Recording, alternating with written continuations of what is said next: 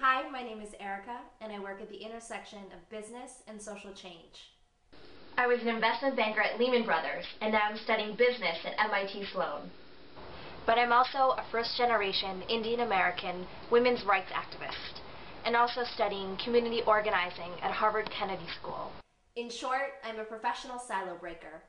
Throughout my life, I've straddled these two worlds, and I'm not alone.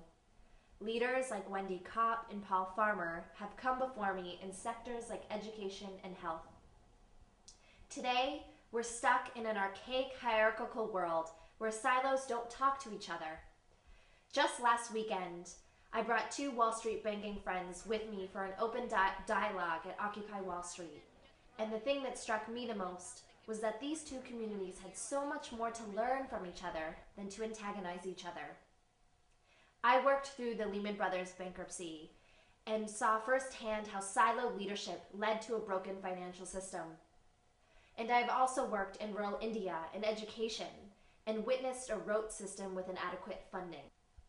So, what will I bring to Davos? Multidisciplinary thinking as a way to overcome adversarial thinking. And how will I bring these worlds together in my hub, community, and generation? Step one through Davos, I will connect leaders across generations, gender, class, disciplines, and countries.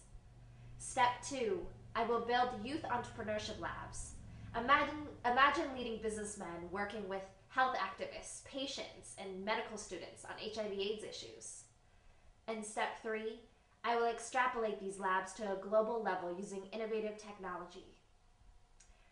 I come from these two worlds and I understand the lens through which they're looking. This is my problem. This is our problem. And I am a bridge builder driving a long term solution.